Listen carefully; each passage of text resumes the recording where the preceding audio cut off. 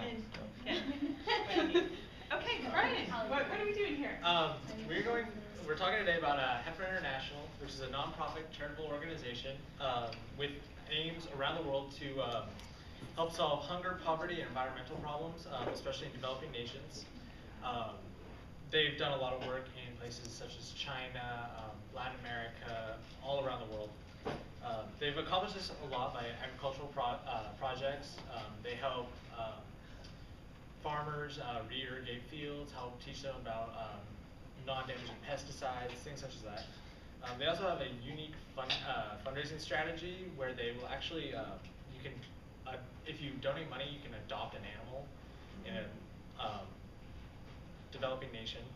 And when that animal reproduces, its offspring are given to local families. So in a way, you're actually helping out the local areas and the local farmers. And by the way, this is Brian Beardsley. I'm Annika Amato. We're in Geography 101 with uh, Professor uh, Dorn. Dorn. and uh, it's an online class, so this is our service project. And um, I figured that, that um, Alton Brown, he could tell you exactly what um, heifer is all about in 60 seconds. So here you go.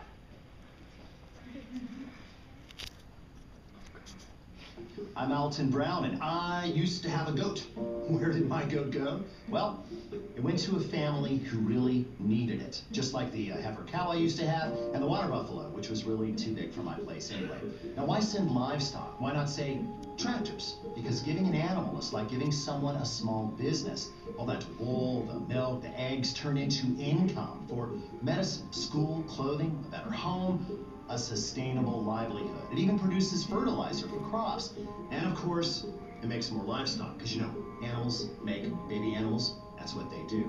The next thing you know, the family that you gave your gift to is passing on the gift of the animal's offspring to another family who does the same thing, and so on and so on, until pretty soon you have helped to lift an entire community out of poverty. All with your gift to Heifer International. That is a recipe for lasting change. I'm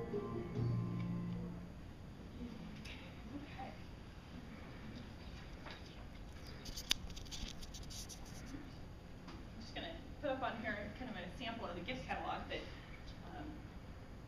when you become working in the workforce, you might wanna donate or give, and you can buy animals, um, to, to help out local communities and. But, um, there is one specific, uh, project, a small project that I kinda wanted to talk about today, and that is in Danba, China. This is, um, a modern Japan class, and there is, heifer doesn't really work in, um, Japan because Japan's a kind of a first world nation and they, they're very wealthy and they, they're not developing, so. Um, I chose a project in China, in the Sichuan province, um, near Danba, and there was a man there that received, um, a herd of goats, so he, he got twelve goats in uh, two thousand two. And what heifer, heifer tries to do is put in, um, like superior breeds of stock, so that, that, uh, the genetics are really good and, and strong, and, um, this particular person that received the twelve goats, um, is able to sell his animals for higher prices, and also, um, in three years, uh, he, he has a herd of like two hundred and thirty goats now. So he's able to build a house, send his children to school, they have food security, and, um, he also passed on to other people in the community twelve other goats. So everyone else is getting the goats as well.